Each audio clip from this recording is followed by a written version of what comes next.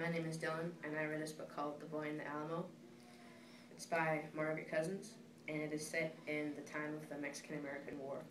It is about a 12 year old boy who, whose older brother is named Buck, and he travels to find Davy Crockett and his band of volunteers, a group of fighting men who volunteer.